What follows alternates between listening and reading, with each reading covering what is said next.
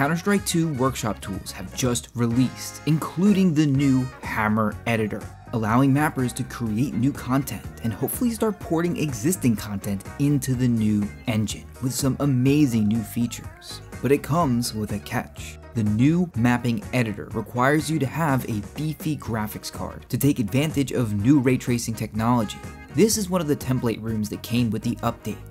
It features the new lighting system and a bunch of examples. This is likely just the tip of the iceberg, but when we change the lighting to GPU path tracing, the changes are more than obvious. The new editor is able to simulate path tracing incredibly fast in real time. There was even this section of Dust 2 that could be instantly path traced. And as you can see, we can change everything about the world, destroying this car and making the barrel way too big.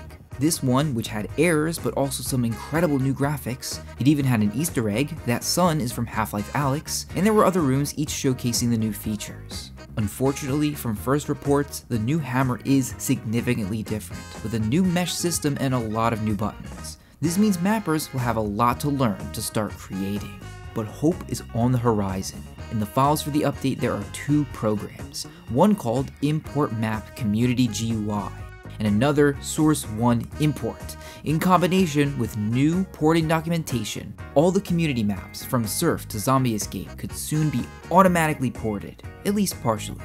If you like this, you'll enjoy the work we've already done on porting maps, and as always, good luck sliding those triangles.